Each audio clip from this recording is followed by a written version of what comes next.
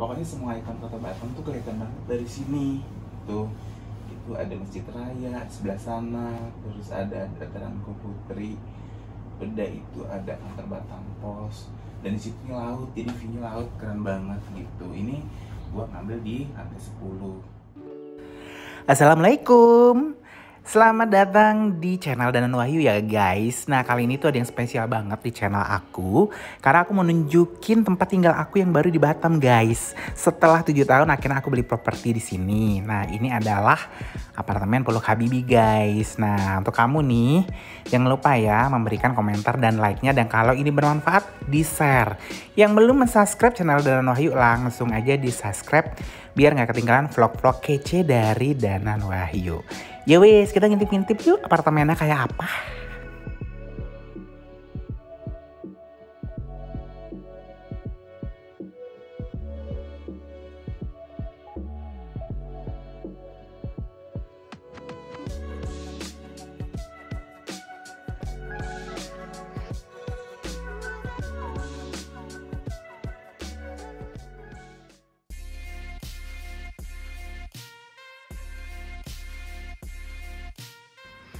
Jadi pagi ini aku semangat banget guys buat datang ke apartemenku yang udah beberapa hari ini direnovasi guys. Amazing. Nah, aku datangnya nggak sendiri guys, datangnya bareng teman-teman aku nih. Jadi mereka nih pengen lihat apartemen aku ya udahlah, kita bakal nginep untuk pertama kalinya.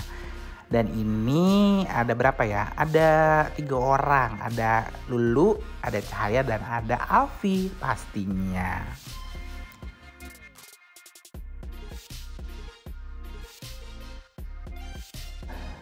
Masuk ke lobbynya aja udah serasa dong kemevahannya ya dari apartemen yang sekarang ini katanya akan menjadi ikon kota Batam. Yaitu secara dia punya 55 lantai.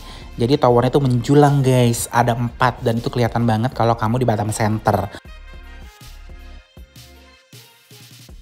Hai guys, lagi mau masuk ke apartemen baru. Lihat ya nanti ya.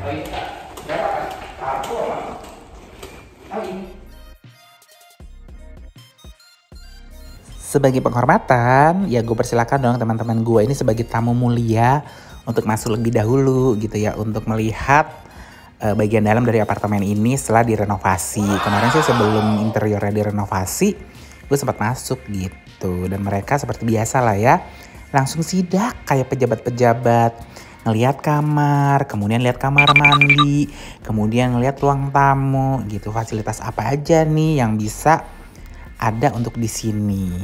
Nah, mereka langsung terpukau dong begitu masuk ke kamar utama guys gitu.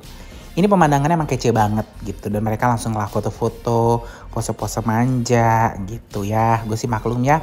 Saya teman-teman gue ini kan juga rakyat jelata.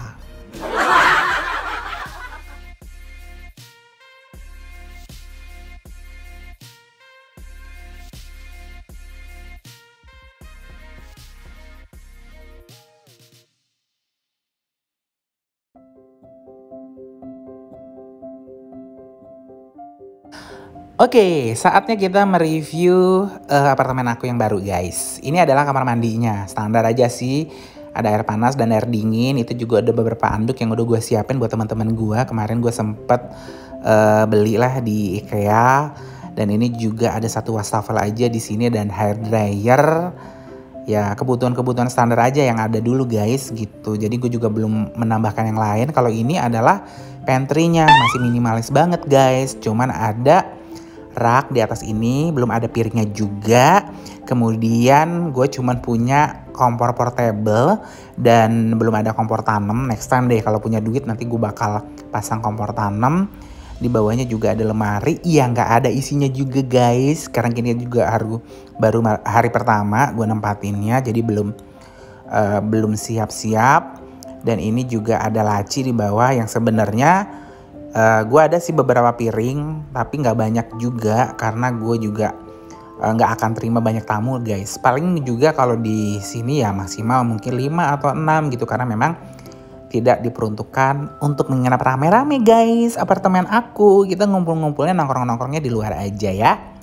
Nah ini juga uh, lemari yang di depan TV gitu. Belum ada isinya dan ini dari ruang tamu tuh pemandangan waktu sore itu kayak gini guys.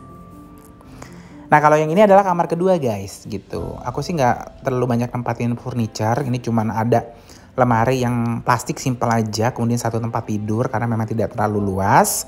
Dan ini pemandangannya langsung menghadap Jalan Ahmad Yani atau Poltek Negeri Batam guys tuh. Nah kalau kamar utamanya ini, ini memang cukup luas. Jadi gue tempatin satu bed yang agak besar. Kemudian ada satu nih tambahan gitu yang kecil dan lemarinya juga baru satu aja. Dan ini pemandangannya kalau sore kayak gini. Gitu. Gimana? Kalian betah nggak? Kalau aku sih pasti betah banget karena ini deket banget dari kantor aku.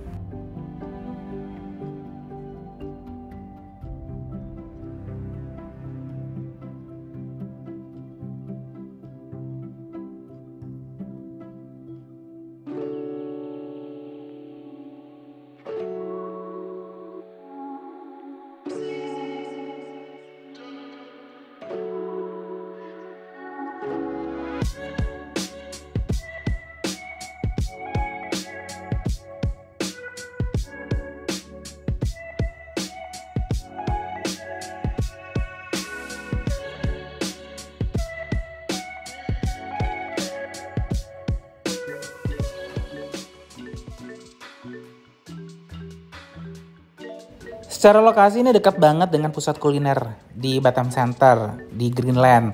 Di situ kalau mau McD, KFC, tempat nongkrong apa pun tuh ada guys dan dari mall juga nggak jauh. Nah ini adalah suasana pagi hari guys gitu. Nah di situlah kita bisa melihat sunrise tuh. Gila ya. Ini sunrise dan ini pemandangan langsung menghadap ke laut. Gitu gue happy banget sih uh, punya apartemen di sini gitu karena dari sini tuh kelihatan tuh kantor gue gitu. Kalau kalian ngeliat gedung Batam Pos tepat di sebelumnya itu adalah kantor gue gitu. Kalau ini adalah tadi ya kampus Poltek ya. Ini di Jalan Ahmad Yani.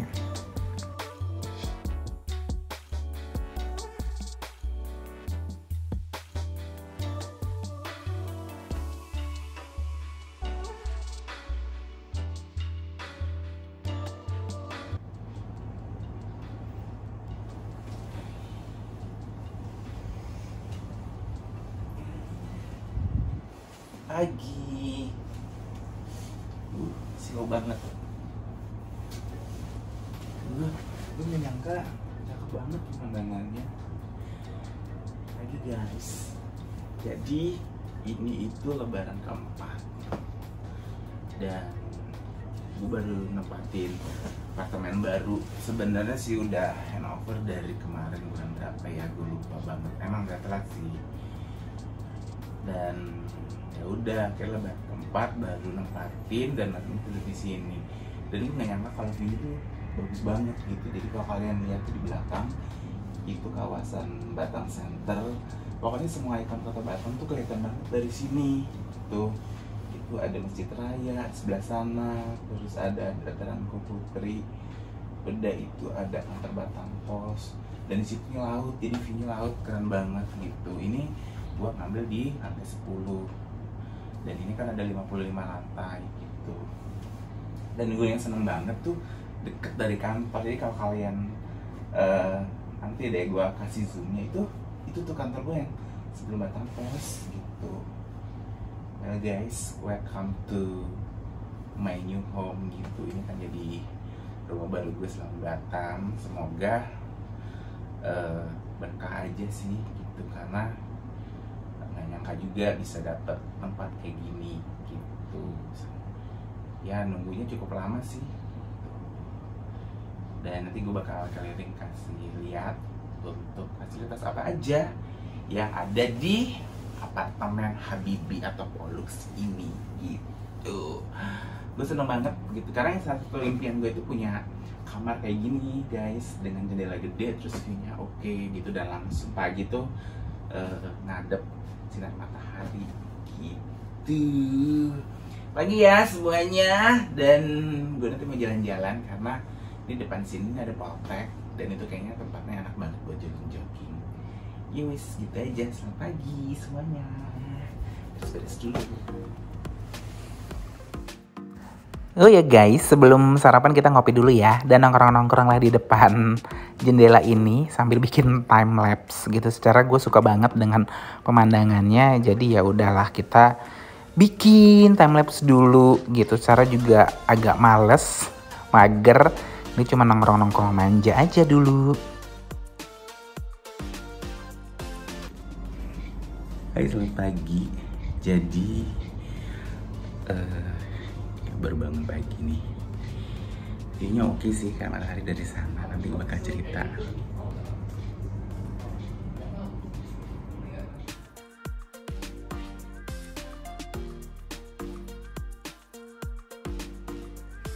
Aku belum cek fasilitas apartemen baru aku.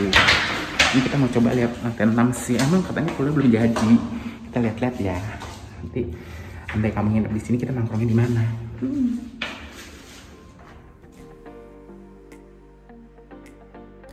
Oh ya guys, gue tadinya kepo banget dengan lantai paling tinggi dari bangunan ini, tapi ternyata belum dibuka. Maksimum itu cuman di lantai 20. Akhirnya gue sama teman gue Lulu turun nih guys ke lantai 6. Nah kebetulan di sini itu nanti bakal ada junction yang menghubungkan uh, satu tower dengan tower yang lain guys. Gitu tempat nongkrongnya lah yang hanya selangkah aja dari kamar. Jadi di lantai 6 itu ada junction penghubung antar tower satu dengan tower yang lain guys. Tuh guys. Nanti gue kasih lihat ya.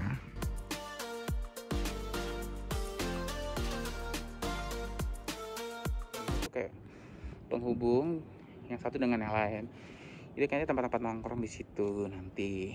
Ini tower 2 dia kalau nggak salah. Tuh. Nice sih. Jadi ini di lantai 6 lantai 6 ini junction gitu antar beberapa gedung. Jadi kan ini ada 4 tower tuh di belakang tuh.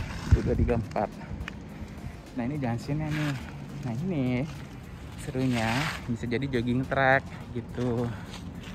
Dan ini muter sampai sana guys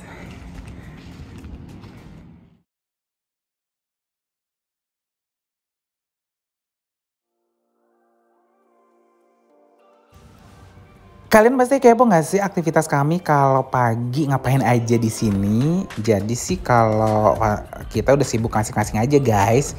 Ini ada teman gue Alfi yang dia tuh hobi aja main HP. Kemudian juga ada Lulu yang katanya tadi pengen masak mie gitu. Tapi nggak tahu dia cuma muter-muter doang. Dan akhirnya setelah sekian purnama dia ngebuka kulkas buat bikin mie guys yang katanya mau pakai telur.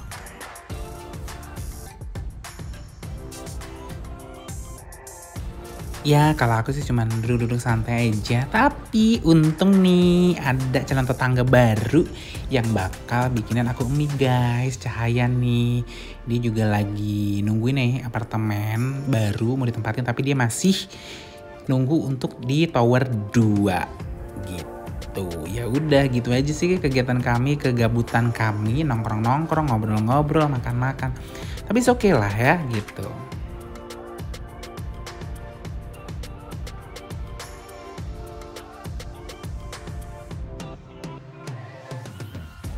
lah. Kapan lah? Kapan kau ini undang kami? Oh ini kok tower 3 kan masih di bulan tower udah, 2. Oh tower 2. Iya. Ya udahlah ya. Nanti kita tetanggaan. Tapi okay. nanti kalau cabemu habis sama bawangmu jangan pinjam-pinjam ke aku lah malu. Iya enggak lah. Nanti aku berkebun berkebun di atas namanya cabe. Uh, pokoknya apotek hidup lah. Uh, kalau aku sih cuman mau nanam cowok-cowok aja. Terus nanti kalau panen aku kasih kau. Nanti kita jalan kaki aja kalau mau nongkrong ke Morbek ya, ajak si Luluk, ajak si Alfi gitu. Tapi orang-orang itu udah sempanan gadung sekarang katanya. Gadung itu apa aku nggak ngerti. Sampai jumpa. Iya. Yuk. Nanti main-main lagi ya ke sini ya.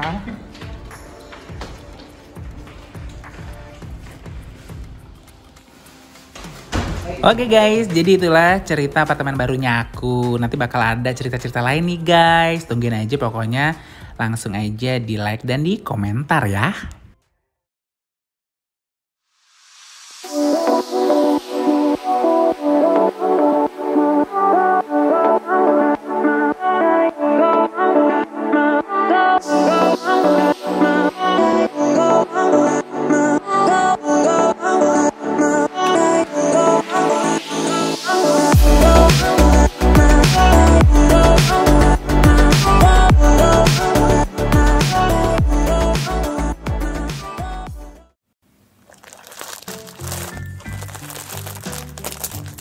Oke guys, daripada dijulitin dengan netizen, sebenarnya apartemen ini bukan punya aku, tapi aku adalah sewa.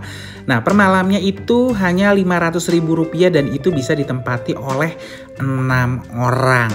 Terus cara ngedapetinnya gimana ya? Wah, untuk kamu yang ngedapetin langsung aja guys. Kamu gunakan aplikasi Agoda, kamu ketik tuh apartemen Poluk Habibi. Nah, nanti akan ketemuan nih. Satu apartemen namanya Lovina 1115 at Polok Medisterst Nah, di sini tuh kelihatan banget beberapa fasilitasnya guys gitu. Jadi kita lihat dulu nih apa aja nih fasilitasnya.